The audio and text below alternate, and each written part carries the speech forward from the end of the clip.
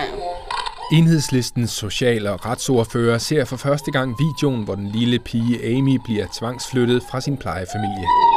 Altså, Den 10-årige pige får en hårdhændet behandling af kommunens folk, da hun mod sin vilje bliver afhentet og ført bort. Er det okay at nive hende?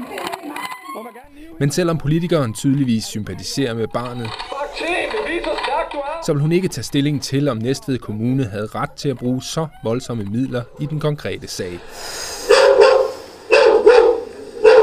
Hvad tænker du, når du ser sådan noget? Jamen, det er jo virkelig, det er jo dybt ubehageligt.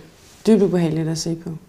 Man skal jo altid vide, at man ikke, at man skal altid tænke på, at man ikke ved, hvad der kommer forud, og man kan jo ikke vide, hvad skal man sige, hvad grundlaget er for en kommunes beslutning for sådan nogle ting.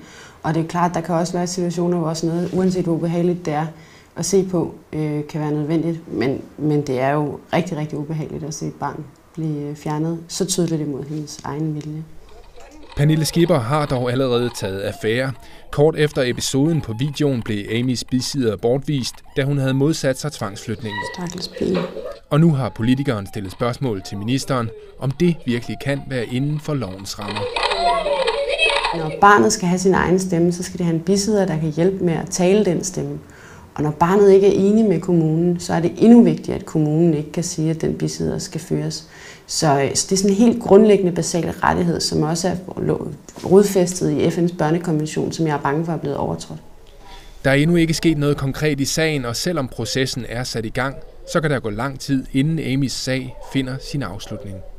Dels ligger sagen hos Ankestyrelsen, som vil vurdere igen, om, om hun ikke kan få lov til at blive som, øh, hos sin plejefamilie.